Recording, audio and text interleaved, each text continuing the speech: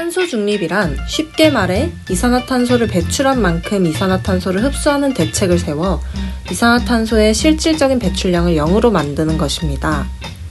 전기 사용, 일회용품 사용 등 사람의 무분별한 사용으로 인해 점점 힘을 잃어가는 지구. 그런 지구를 위해 비엔날레는 탄소 중립을 잘 실천하고 있을까요? 먼저 자전거를 타고 출근하는 직원을 볼 수 있었습니다. 아무래도 자동차를 탔을 때 발생하는 매연도 탄소 배출의 큰 원인인데 직접 페달을 굴려 움직이는 자전거를 타고 출근하는 모습은 아주 인상 깊었습니다. 그리고 엘리베이터가 아닌 계단을 이용하시더라고요. 물을 마실 때 종이컵이 아닌 각자 개인 컵이나 텀블러를 사용하는 모습도 봤습니다.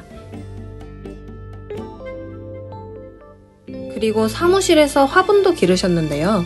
어떤 공간에 화분을 두는 것은 공기 정화의 목적으로 좋습니다.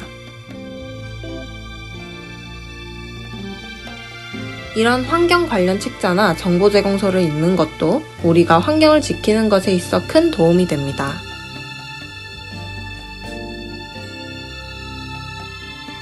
회의할 때 직원들이 아이패드를 사용하는 모습도 볼 수 있었는데요.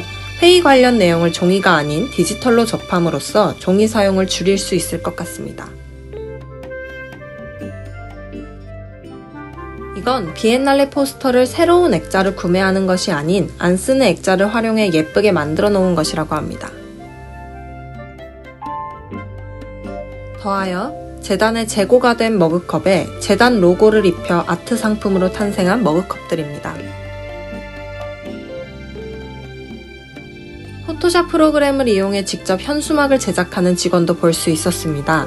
현수막을 제작함에 있어 업체에 맡기거나 하면 불필요한 소재가 사용되는데 이렇게 디지털로 직접 제작함으로써 불필요한 것들을 사용하지 않을 수 있습니다.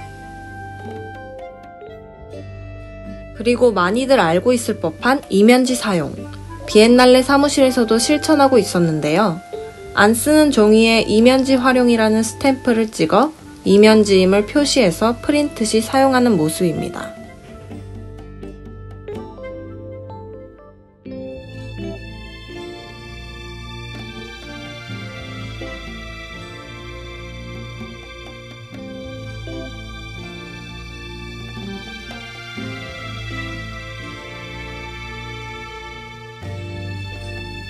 마지막으로 화장실을 사용하지 않을 때 조명을 전부 소등하는 모습을 볼 수 있었습니다.